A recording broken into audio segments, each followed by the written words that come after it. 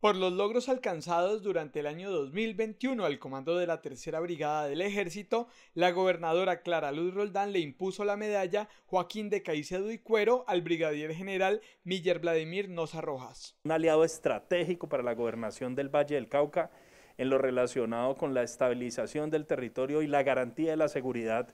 del departamento del Valle del Cauca. Al general Noza le tenemos que agradecer su disposición, su empeño y su compromiso en los difíciles momentos que ha vivido el departamento del Valle del Cauca, en especial en el marco de los bloqueos que vivió este territorio, así como la atención de la pandemia del COVID-19 que trajo grandes retos. La tercera brigada del ejército cuenta con 11 batallones y opera en el departamento del Valle del Cauca. Y gracias a toda la gobernación en cabeza de nuestra doctora Clara por todo su apoyo, por todo su esfuerzo y por todo ese trabajo en equipo que realizamos este año, dando resultados no solamente operacionales contra la compañía en izquierdo, la Jaime Martínez y la Goberto Ramos, sino